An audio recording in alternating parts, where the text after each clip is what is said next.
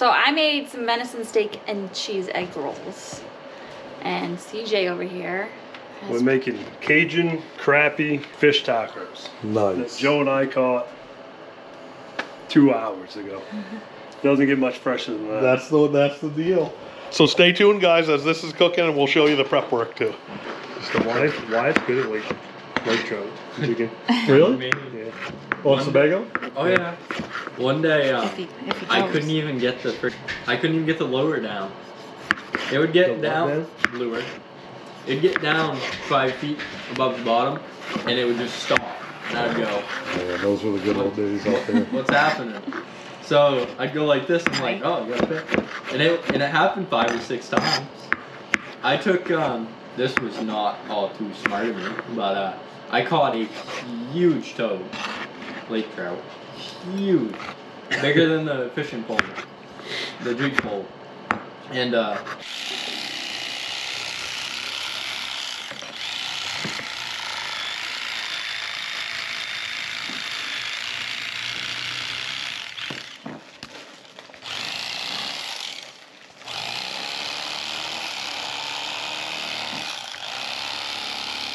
Yeah, I'm also salty. So now I'm all self-conscious. Just don't cut your fingers. We'll have to make a fail video. Ain't much meat there. no, you're good. We can usually see through them when they're done.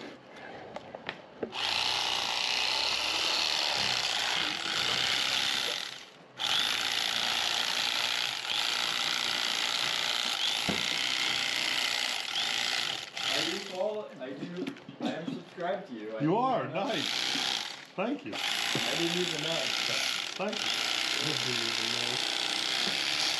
I don't really pay attention to who I subscribe to. On. You weren't even Very much subscribed meat to there. us. Wow. You're on. You're on YouTube. Oh, on YouTube. Yeah, no. You didn't follow our Instagram page for. No, that About a that, year. that that was a long time before before all that. Most of my friends followed them before I did. Really? Yeah. It's funny how that works sometimes. I'm gonna speed this video up to like six times fast. So they're gonna think you're the fastest player. There you go. Perfect. Got the tool for it. I don't feel like it's going as good as usual.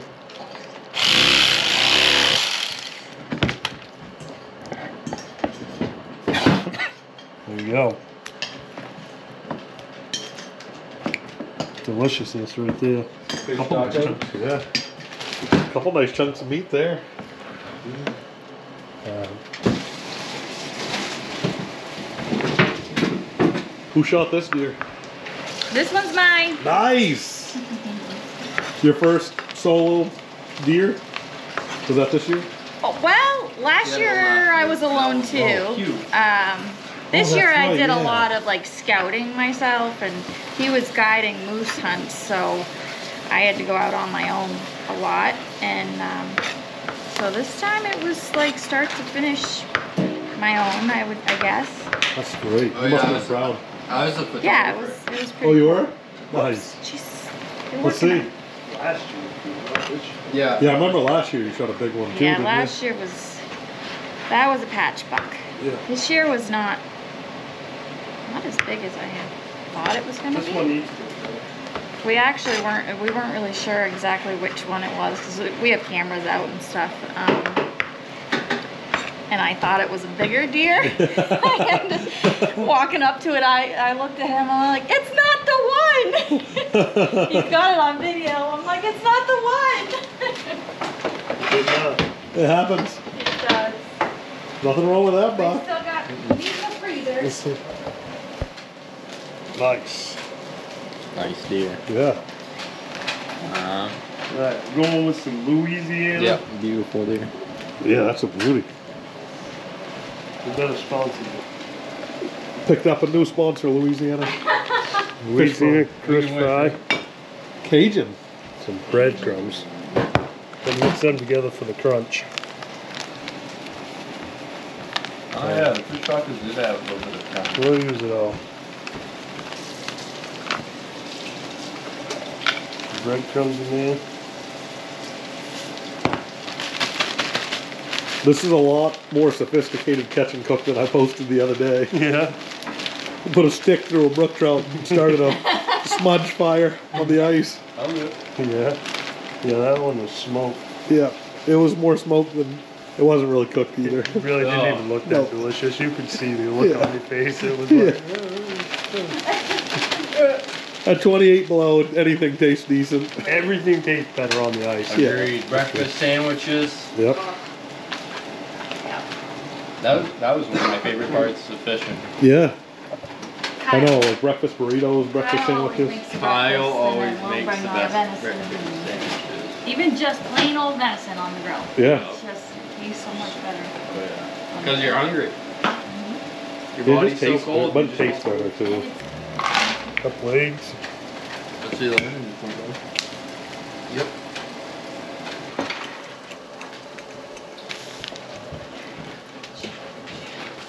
Where's, what's your favorite state you've ever been to? Oh, Fish. outside of Maine Yeah. and fish, hmm. ice fishing or open water fishing. Whatever. That's tough. Man. Probably Alabama. Really? Yeah, I loved it. Yep. I've only ice fished one place outside of Maine, so Where's that? that was Minnesota. So I, I don't have a lot to judge for ice fishing wise till next year. But probably the best crappie fishing's right here in Maine. I, yeah. I Both think numbers is. and size. From the people I talk to, it sure is. Yeah. We got. What's Closing, Work? Wait, hold on. Why is it light coming on? Which one? I hit that one. Oh, vent light? Surface. No, That's that one better. doesn't work. Nice. This looks Yeah, beautiful. that doesn't work. You ever had uh, chicken cheese egg rolls?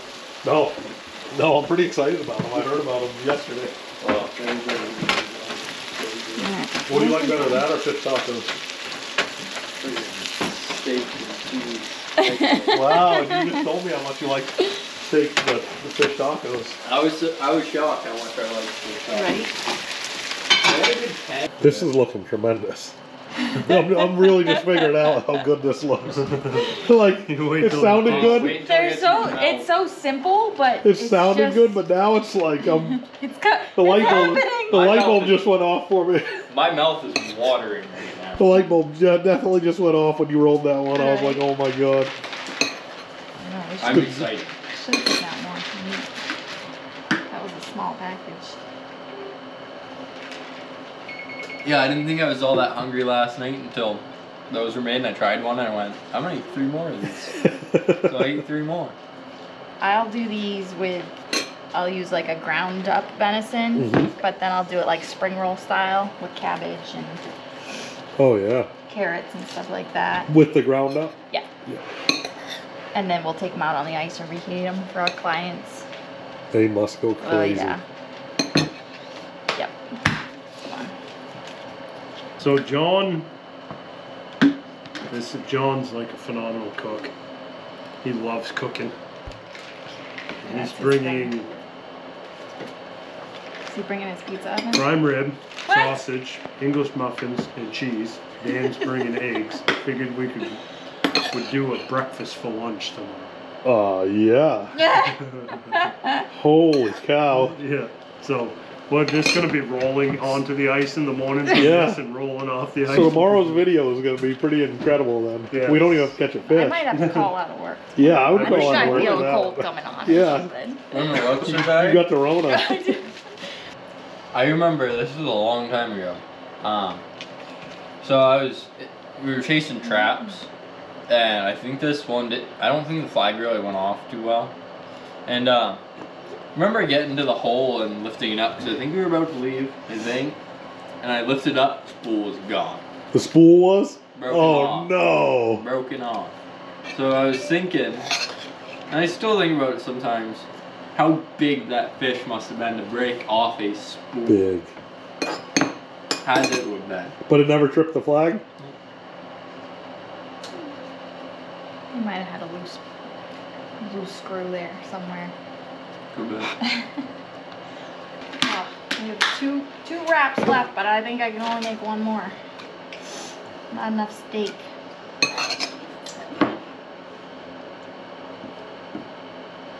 I've never had homemade egg rolls. This is pretty exciting anyway. They're way easier than you would expect. Yeah, that doesn't look terrible. No, they're not bad at all, and you can get these wraps anywhere. I got these at Walmart. Boy, my mouth is watering right now. Oh, Wyatt. Wyatt's fired up. It's so good. I am excited. Cheese on it. Holy cow, looking pretty good. You know what you need to do? Get a So those are the low and calorie. in that oven. That's, can do it. that's the, the mm. healthy version of dinner. And- And, this is and gonna of be inside the we're the- doing the- full That doesn't on. look that Oh, we're deep unhealthy. frying these babies. That's all right. These are going right in the oil. Oh yeah, I forgot we got them. Done. You'll be working up to Joe's ice cream shop making egg. Oh my god, yeah, I'll have Donnie doing donuts, you doing egg rolls. That place will be packed. Alright, here we go.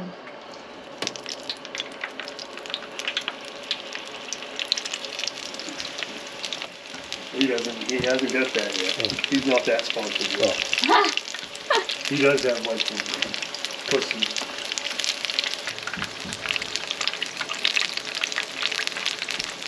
Well, I'm pumped about this. I don't know what I'm used so my little salt in here is not gonna be very good.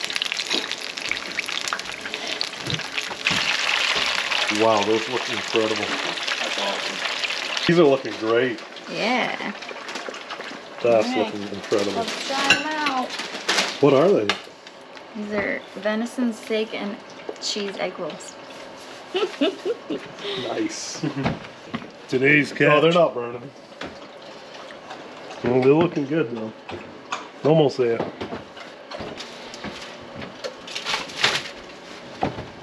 That Don't get much incredible. fresher than that, buddy.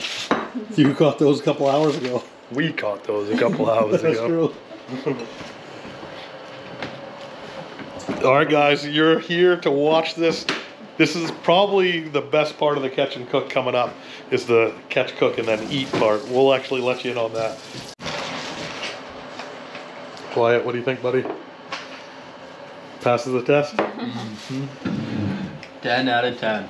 10 out of 10. Absolutely. Alright. What do we miss? This is like Nothing. probably the best Maine surf and turf you can get. Oh yeah. Venison and crab. Venison and crappie. It doesn't get too much better than that. That's like In my world, it doesn't anyway. Right? That, uh, that- you go out to eat, get a surf and turf meal for 50 to 100 bucks, or you could just go get it yourself. Yeah. We're gonna watch this fish taco.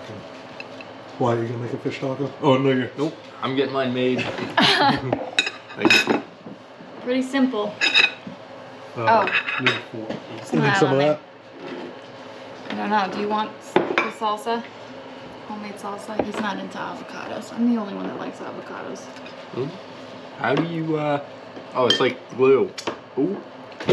it's like glue. It's like Elmer's glue. I'm gonna try the secret sauce. Sounded good. Looks pretty incredible, guys. It is. Dig in. Yeah. Man. You know you're fishing when you have to move the electronics off the table to eat.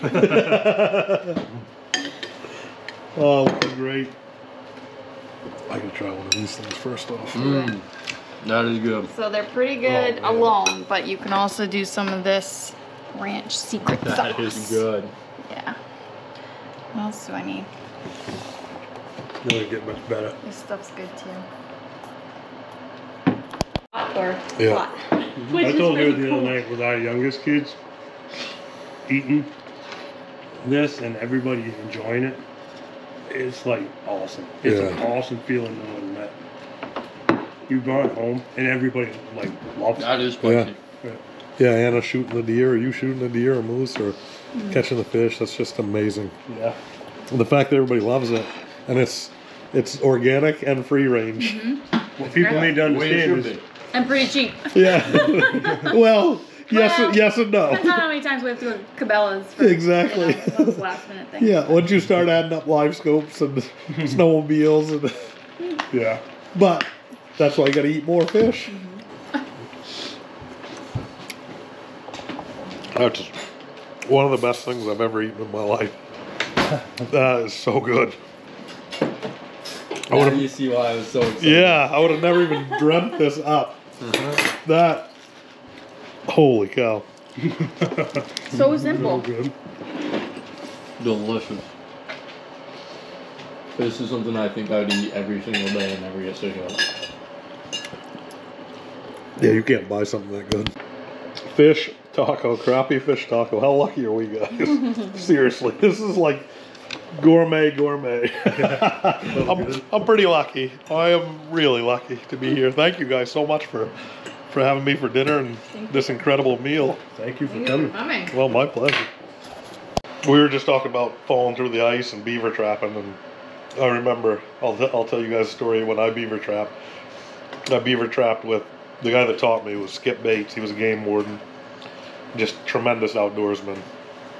He was competitive, so we would get on ice way before we should have.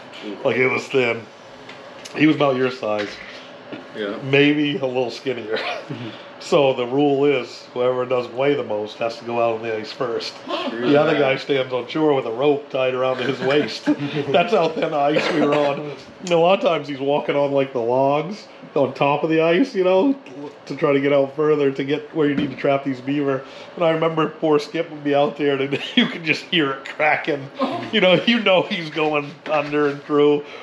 And I'd give that rope a little yank, you know, and he'd pull back and he'd turn around. He was so mad at me. Stop it! he'd swear he'd reach for his sidearm when I'd do that. But that's the one rule I had when I beaver trapped is never trap with anybody heavier than you. Yep. Because the lightest guy goes out first. Yeah. No, it was like when I trapped beaver, I think the year before it was like five to ten dollars a pelt, and it's just not worth it. But I did it anyway. Yeah. I don't even care. Have you ever heard of Oscar Cronk? Yep.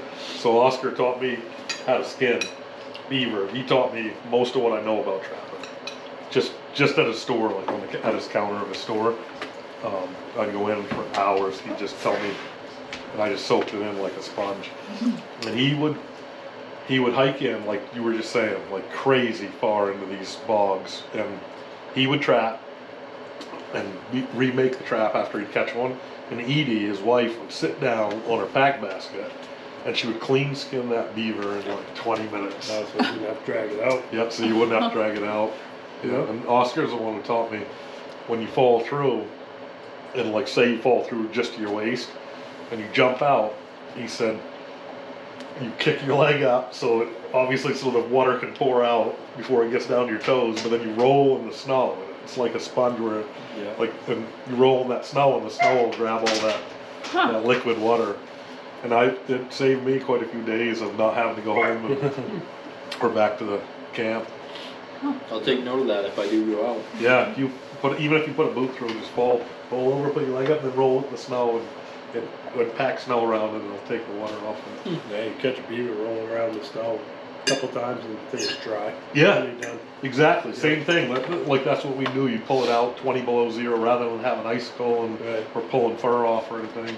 Yeah.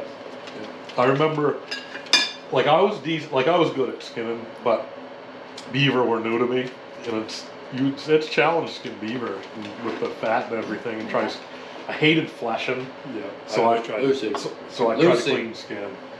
And I remember, like Skip and I sat, and we set a pile of traps, and he knew what he was doing. I didn't know what I was doing. And the first, I think we got like one, and I scun it. It took me like two hours to put it up, like to clean skin it, and put it up, and, and on the board and everything. And then, the- like two days later, I went and checked the traps all alone. And it was like the first through check, you know, on all our sets. And we caught 19 beaver that day. And as I was driving back to the warden camp, because that's where we were staying up near Clayton Lake, I remember doing the math, and I'm like, all right, so two. I was like, two hours. 40 hours. Yes, two hours times 19 beaver. If I start now and don't stop to eat or anything, I'll be out of the shack in a week. And I was like, something's got to change. So I, I remembered Oscar telling me how Edie did it. And she'd sit down and put that like right over her lap or right in front of her and how she'd clean skin it. And I got down to 26 minutes where I could clean skin a, a full size beaver. So, I, but that's still like eight hours of skinning right mm-hmm. there. And Five yeah, dollars. From yeah, but you know, it was always like coming off the years where it was like five or ten bucks for a hide for a beaver pelt. No one would trap, so then we'd trap hard, and then you get paid. Like we get paid. Like we probably averaged. I bet you we averaged thirty-five on beaver. Like we got some for like as high as like eighty dollars. You know, and and some every once in a while would be like ten bucks if you catch a kid. So we never let the previous year's prices and the forecast deter us from trapping, Right. just because we love to and like, mm-hmm. if the state knew it, I would have paid every cent to them to do what I did. Right. You know, like, But it gets to a point where you financially know, like, this isn't a hobby I need to keep anymore. Yeah. I will never recover from this. Oh boy, now I'm starting to second guess. Because it won't, you won't. You know, like I told you, that I sold a fisher, two fox, a few mink. I shot nine How do you big decide? prime coon with my coon hounds that year. We were selective with what we shot. yeah. Um, we didn't shoot a lot of coon because they weren't worth anything, so we let a lot of them go. That was just after the rabies went through and their numbers were way down. So we shot nine prime coon. I think I trapped two or three or four. I just kind of did it, dub it off. I sold my fur to Kimball's. No, it wasn't him. And uh, I think I made like sixty dollars on all Oh, that fur. no. Yeah. And I came home that afternoon and I had a great big buck mink in my trap and I looked at him and I, you're not worth killing, buddy. Yeah. I let it go and I, I haven't trapped since. No, it wasn't so much the fair price, it was just, it got to be a sport that I loved, but I couldn't afford Yeah. to do anymore. Yeah. You know, I used to be It's making very up, time consuming too, though. I used to make enough money that I would buy my family Christmas presents. It wasn't a Yeah. lot, but Right. up to Merritt Kimball's, you trade some of your fur for deerskin gloves. Yeah. Or you'd go and you'd have a little chest and you'd, you know, buy some little trinket or something for your family. Yep. Uh, I remember one year, my grandmother told me, I said, I'm saving all my money for a snowmobile so I could beaver trap. And she said, uh, you know, don't be stingy. Remember, you do good things for people and people do good things for you. Well, unbeknownst to me, I had a snowmobile and for Christmas that year. They, the family got together and, and helped me. But, uh, so, That's awesome. you know, but, no, that was the last year I ever trapped. So. All right. That is going to do it for tonight. Full belly, incredible food, incredible time with friends. Really looking forward to getting after some more big slab crappie tomorrow. Might even go after some rainbows, so should be a great day. Uh, I'm going to try to do a little bit more reading tonight. Last night I just really got into this book and stayed up a lot later than I was expecting to, but not sure if I could tell you what this book is. I'll have to ask the author, but this is the beta copy that I've been working on, uh, helping on like an edit or a read through.